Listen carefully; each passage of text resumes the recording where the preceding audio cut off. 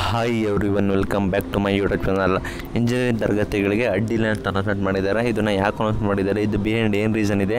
ಯಾಕೆ ರಜೆಯನ್ನು ಘೋಷಣೆ ಮಾಡಿದ್ದು ವಾಪಸ್ ಪಡೆದಿದ್ದಾರೆ? ಅದ್ರ ಬಗ್ಗೆ ಕಂಪ್ಲೀಟ್ ಇನ್ಫಾರ್ಮೇಷನ್ ವಿಡಿಯೋ ತಿಳಿಸ್ಕೊಡ್ತೀನಿ.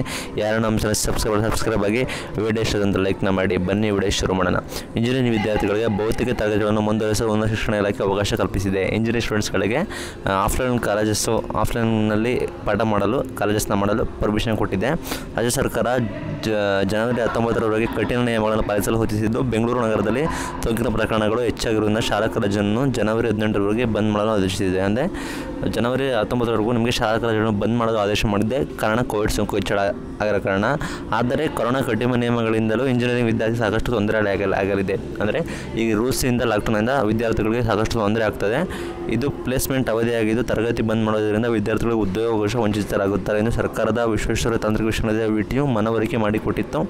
ಈ ಹಿನ್ನೆಲೆ ರಾಜ್ಯ ಸರ್ಕಾರ ತರಗತಿ ನಡೆಸಲು ಅವಕಾಶ ನೀಡಿದೆ.